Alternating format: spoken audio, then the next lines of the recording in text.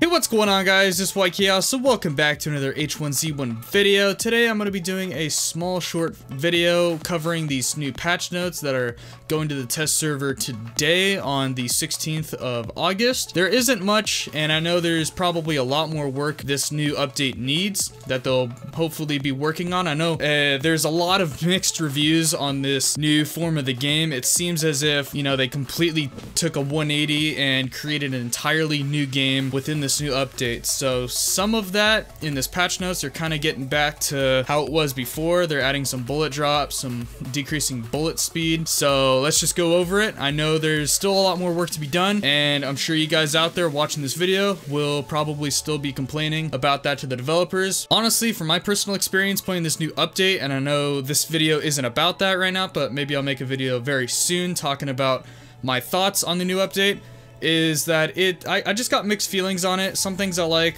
a lot of things I don't like, but again, I'll probably end up making a video on that soon. So let's get right into these patch notes. So the weapon tuning changes for the AK-47, they slightly increased bullet drop, which kind of needs to be greatly increased, or at least close uh, to what it was before. Maybe not what it was before, but maybe just a little better. And the bullet drop, I, I, think the bullet drop in the last update was just too much. It needed to be decreased slightly. You know, this is a step in the right direction. Also with the AK-47, they reduced projectile speed from 650 from 700. So they decreased at 50. I don't know how well that will fare up uh, between the two numbers, so I guess we'll see when the update goes live. Now with the AR-15, slightly increased bullet drop, so that's a step in the right direction reduced projectile speed to 875 from 1000. That is that seems tremendously big, but like I said, we'll see from when the actual patch goes out. Increased cone of fire recovery rate, allowing the first shot to recover faster. Two tap feels more should be comparable to current live behavior than before. I don't even know what that sentence says but it seems as if two tapping should be a little easier and you know feel as if it did before or currently right now in the live servers so that's pretty cool and also with this new AR-15 if you were to just you know spray your shots or maybe even take your time the second third bullet would often you know, not go where you intended it to go because of the wide spread on it. So after shooting the first bullet, the recovery onto the second bullet should be a lot quicker and you know you should be hitting your shots a lot better than what you feel like you should be hitting. So that's very cool. And now onto the Hellfire 4.6 which honestly they need to do a lot more work on this weapon.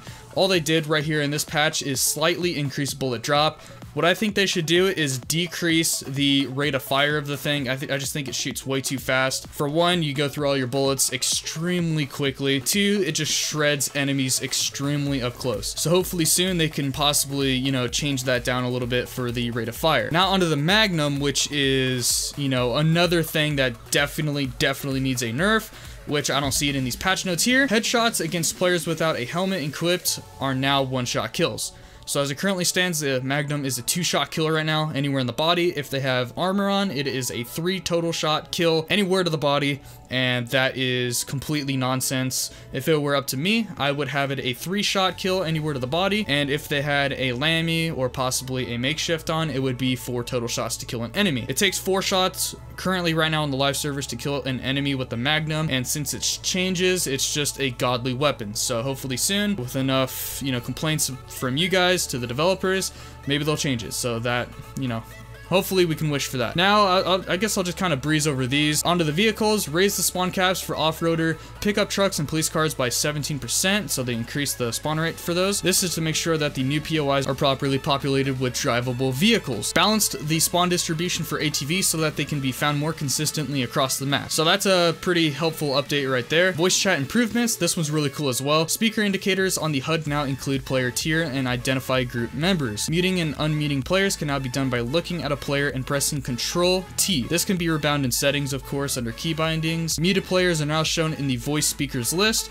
but with a muted icon and do not contribute to voice ducking. So that's a nice little improvement they made right there on the mute unmute system, so that's very cool. Now onto combat update bug fixes. Throwable weapons now all have consistent throwing ranges. Weapons are no longer missing their shooting animations for firing while crawling. Entering the menu while in third person. ADS will no longer lock aim point. Previously fixed opening the map causing this, whatever that sentence means. Inventory capacity is now properly displayed when a player has no items equipped that increase capacity. Driver shadows are no longer rendered over the vehicle's shadow. Other players' tracers can now be seen if they weren't in sight, as long as the shot comes into view. Now finally onto the live bug fixes. More improvements and fixes for silent footsteps. Found three material types that weren't playing the correct shoe sound and also identified and fixed a bug that could cause footsteps to sound muffled from certain angles. The gas ring will no longer expand or change unexpectedly during the last gas phase. So that's all there is to the patch. There wasn't really much done to the update to greatly improve it